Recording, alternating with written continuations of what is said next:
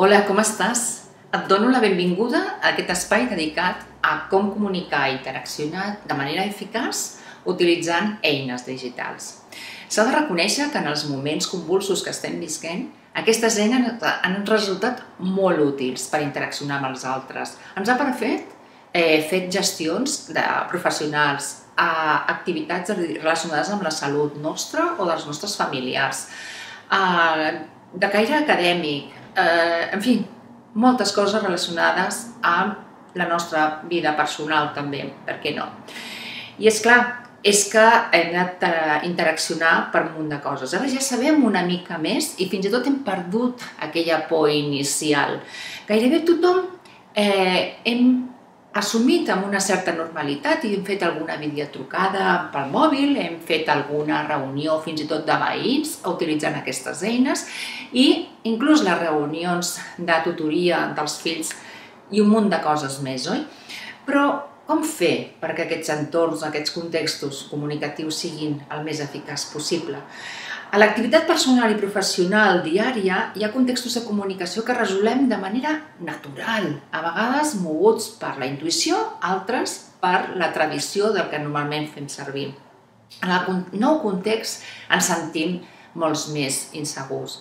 La inseguretat és la que ens mou, no, ens manquen referents, no tenim l'habilitat natural de fer-ho com amb la situació presencial i de la comunicació que nosaltres diem en viu.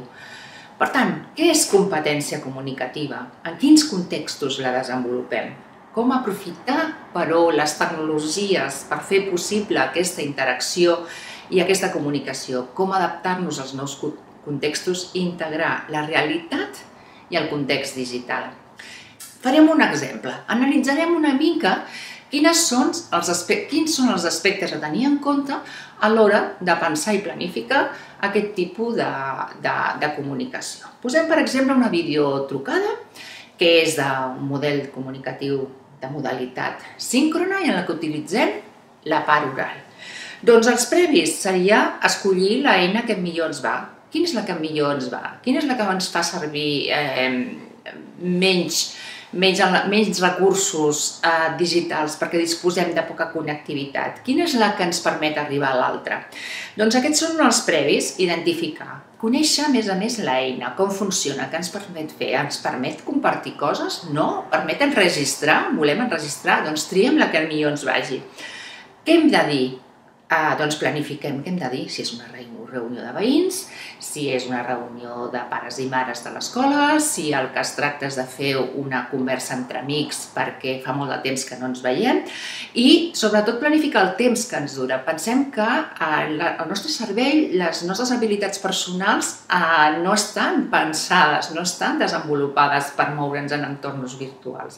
Per tant, eh, aquestes noves tecnologies ens generen una mica més d'esgotament, d'estrès. Primer, perquè no coneixem les eines, que no coneixem aquest nou entorn, i a més a més, perquè, com que ens falten referents, no tenim la, els indicadors doncs, de, no, de, de, la, dels, de moltes vegades de caire no verbal, perquè les altres persones doncs, no, no es mostren en pantalla. El nostre cervell s'esgota fàcilment. Per tant, la durada també l'hem de controlar. En quin moment? Doncs quan? Doncs igual. Oi que no vas a casa del teu veí en un moment que no és el més adient? Doncs no li facis un WhatsApp, no li envies un WhatsApp, no, no, no utilitzis la modalitat síncrona en aquells moments en què no són els més adients.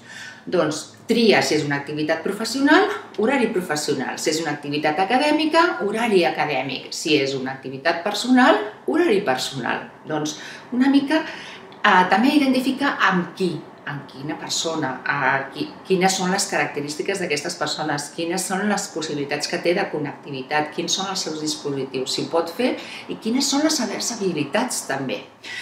Recordem, la regla bàsica de la comunicació, i això ja ens ve dels anys 70, és que, fixeu-vos, del que diem arriba un 7%. El que diem, el que parlem. La nostra veu representa un 38% de la nostra comunicació. I la resta, el 55%, és comunicació no verbal. Moltes vegades, amb els nous entorns, amaguem tota la part, diguem-ne, no, no verbal, la gestualitat, no veiem a l'altre moltes vegades i, per tant, ens queda en la foscor aquest 55%.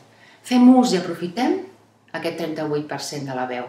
I, si podem, aprofitem aquest 55% de la, de la nostra, que és la nostra mirada, que són els nostres gestos, moltes vegades com ara, no? que no ens veiem tot el cos, sinó que en veiem una part. Per tant, la cara, els gestos de la cara, les mans per emfasitzar, i el que diem, important, però sobretot com ho diem, amb quina veu, veu, amb quin volum, amb quin to, per crear clima, és fonamental i també fer-ho eficaç amb aquests entorns, amb eines digitals.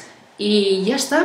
Fem, fins aviat. Espero trobar-vos, si no és presencialment, a les xarxes, de manera virtual i sobretot desitjar-vos molta sort i que us cuideu molt. Moltíssimes gràcies. Fins aviat.